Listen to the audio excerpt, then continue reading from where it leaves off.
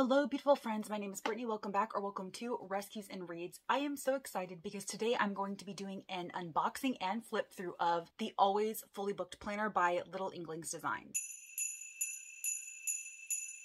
This is a planner that is both a reading journal and a typical daily planner. It is probably one of the best reading journals I have found in my years keeping track of the reading that I've done. I've only purchased this one other time. It was back for the 2021 reading year, and unfortunately, I fell off of it and didn't continue with it. But now that I'm back into it and now that I'm back into doing booktube, I definitely wanted to have something more substantial to not only track my reading but plan out my videos and also potentially daily and weekly to-dos. She typically four versions of the planner. She has two in a horizontal layout and two in a vertical layout. So I have the black and white vertical layout. There's also a black and white horizontal, color vertical, and color horizontal. At the time that I'm filming this video, the only one still left in stock is the color vertical. So if you watch my flip through and think that this might be something you're interested in, I would go ahead and grab it because typically once they're gone, they're gone. She will do a brief restock in December, but after that, once they're gone, she does not restock them again because because this is a dated planner. She does have what's called a novel companion. So that is basically for reading tracking only, and it doesn't contain the weekly layouts that this planner does. So if you are purely interested in something to track your reading, you might be interested in a novel companion, which she does typically do restocks of throughout the year as it is undated and you can start it at any point. So if you miss out on this planner for 2023, or if you are not interested in having the typical weekly spreads for daily planning, you may want to go ahead and check out her A Novel Companion. I will go ahead and link her business down below so that you can get on that as quickly as possible. So without further ado, let's go ahead and get into the flip through. All right, y'all, here it is. This is my reading planner from Little Inklings Designs. This is by far the best reading planner that I have found. And while I will definitely need to customize some of the spreads, it is still well worth it. So I'm going to go ahead and just do a quick flip through so you can see what the planner is. And if there are still any in stock by the time that this video goes live, I will be sure to link it all down below. She does typically do a restock at some point in December. And so if you're interested, you might want to go ahead and follow her social media or sign up for her newsletter so that you can try to snag one if you are interested in it.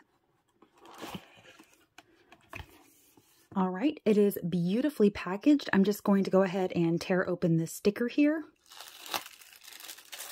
And there it is. Let me remove it from the plastic and we'll get into the flip through. All right, y'all, here she is. This is the Always Fully Booked Planner by Little Inklings. I got the black and white design. She also has a colorful counterpart. Both of the planners typically come in horizontal and vertical planning spreads, and you'll see what I'm talking about in just a second. So mine has a black cover and this beautiful white design on the cover. It's got golden coils, corner protectors here, which is a really nice touch, and there is also a band that goes goes around it. All right, then when you open it up, you have these lovely designs here on this end page and then a sample sticker sheet of stickers that she typically sells within her shop. Here we have the This Planner Belongs To page where you can put whatever personal information you want to ensure that this planner gets back to you in case it is ever lost. Here we have the 2023 year at a glance spread. This could come in handy when you're trying to figure out like maybe what day of the week a certain event falls on and so on and so forth. I typically don't use this spread for anything, but it is nice to have. Here is where we start to get into some of the planning. So you have the star rating system here. And when joining the Facebook group, I noticed that they have this fun tradition of using like movie or television show or song lyric or book quotes to make their star rating system. So you'll find a quote that kind of corresponds really well to each star rating. And I'm considering doing either Hamilton or Supernatural quotes for this. It's just a fun little added touch. You can also make a list of a handful of your most anticipated books. Here are some conversion formulas for the tracking. Like it tells you how to calculate the percentage of a book that's read or the audiobook time listened to page count. So that's cool. And here's where you can keep track of the legends. So like color coding, you can do the color coding here and refer back to it if you need to. This is a 2023 goals spread. It's very plain with just white boxes. So you can get as creative as you want. You can just do hand lettering, which is probably what I will do. I am not an artistic person whatsoever. Or you can do like stickers, drawings, however you want to go ahead and do this layout. She really made it so that you can let your creativity run wild with this one. Here's the first of two reading checklist spreads. You can really customize this to fit your own needs. I do not think that I will be using it to write down all of the books that I've read throughout the year. And that is because in a couple of pages, there's a full two page bookshelf design, and I'm going to use that to kind of write down all of the books that I read. I think I'm going to customize this to keep track of some of the challenges that I have set for myself, like the authors that I want to try in 2023 or the 23 books I plan to read in 2023. So there are a handful of things I think that I'm going to be using these pages for.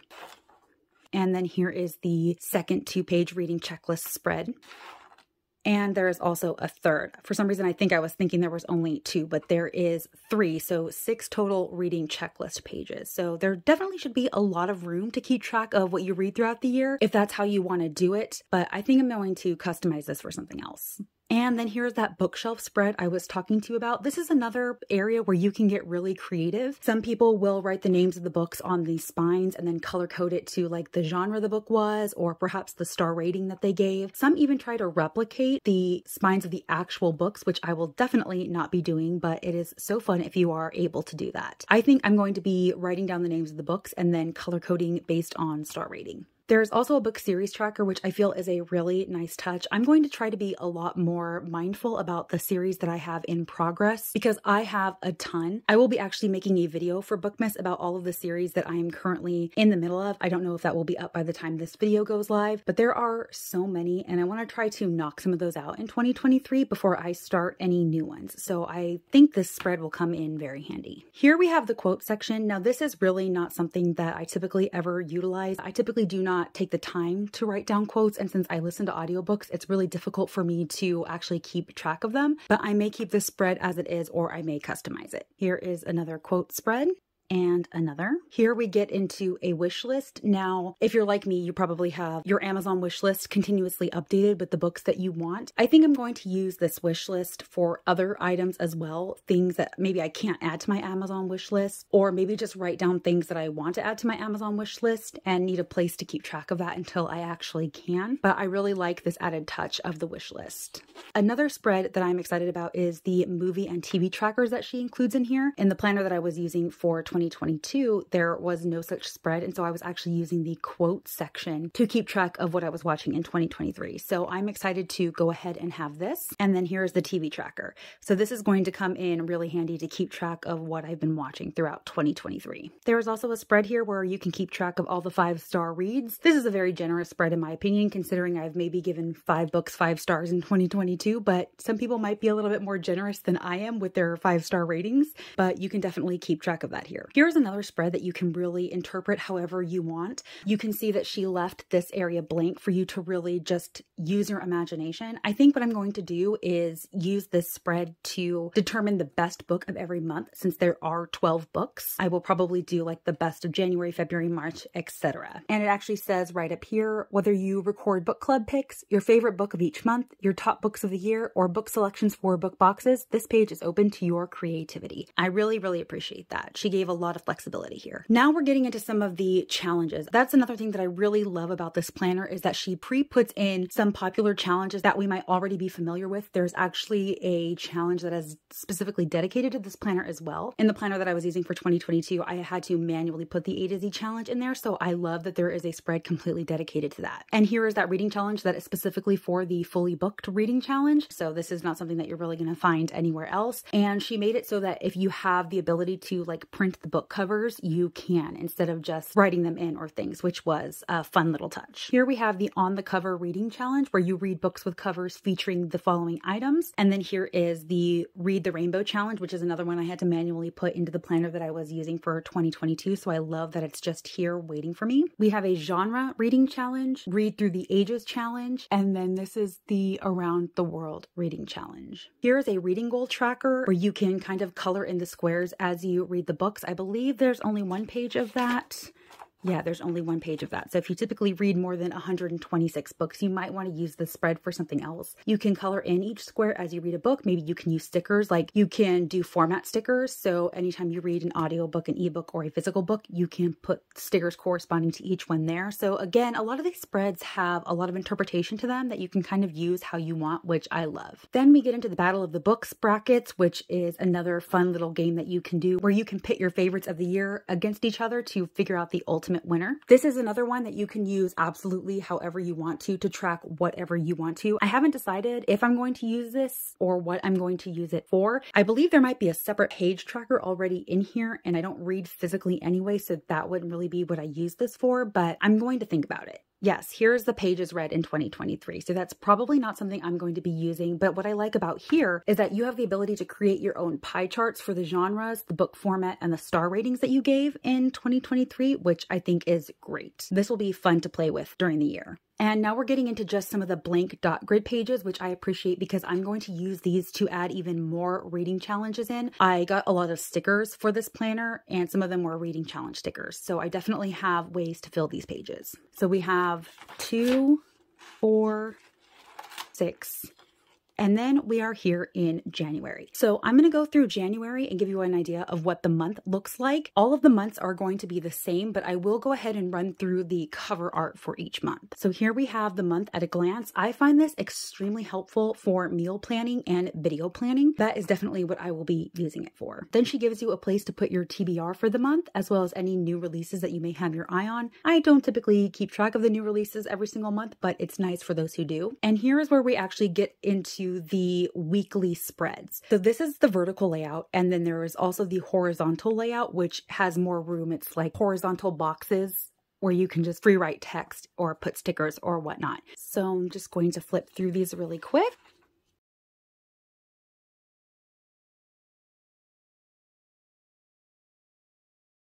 And then here at the end of the month, you can write down all of the books that you purchased or acquired throughout the month. And here is where you can put your reading wrap up. There's also a space up here to keep track of stats. So the number of books you read, the best book, the pages, the hours, number of DNFs, the format, the genres, and then currently loving box right here. And then at the end of the month, you get one more dot grid page and a page of lined note paper. I think this would be a great place for me to keep track of any monthly challenges that I'm doing, whereas the front of the reading planner would be dedicated to more year long reading challenges. All right, and then here we are to February. Loving these designs. She is so talented and creative. So like I said, I'm going to go ahead and flip through all of the different monthly art until we get to the back of the planner. There's March, April. Oh, and I should mention there is a quarterly check in. There's a quarterly check in after every single quarter until you get to the very end, where there's also going to be a yearly check in. So you have a box here for standout reads, what you are currently loving in terms of author, character, TV show, movie, music, and place you visited, a genre breakdown of all of the genres that you've read and how many, reading goal progress, and again, more reading stats and the formats, memorable moments, goals progress, and books you want to read in the next quarter. Again, so there's April,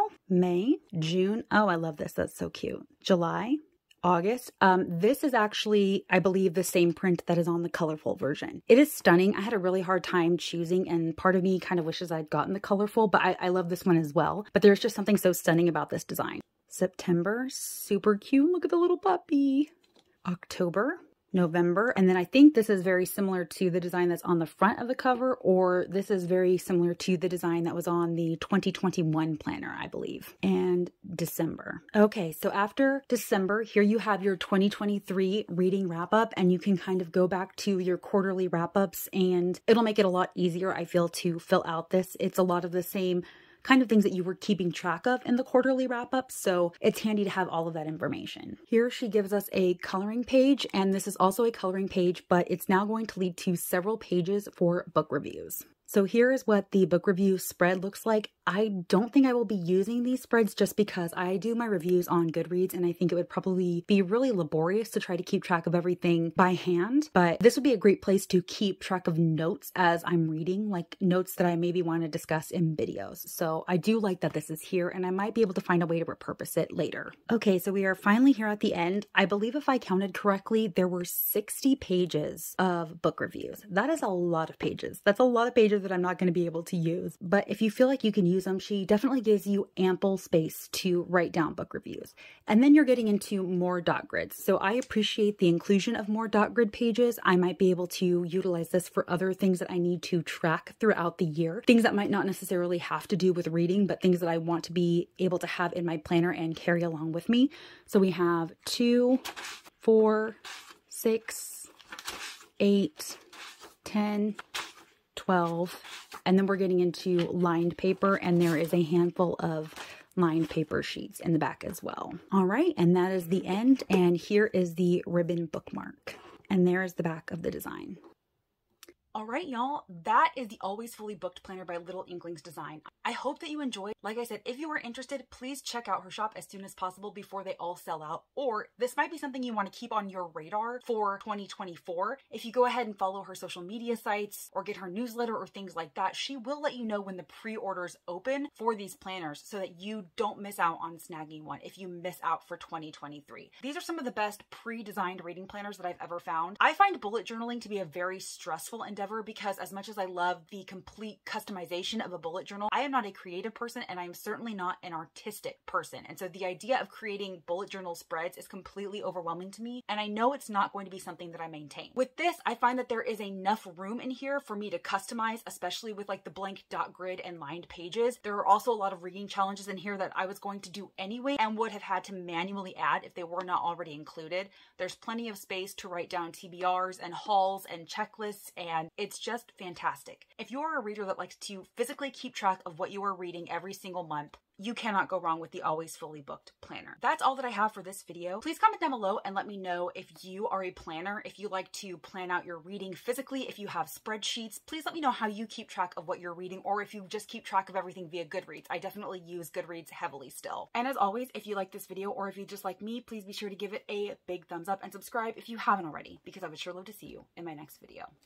Bye, guys.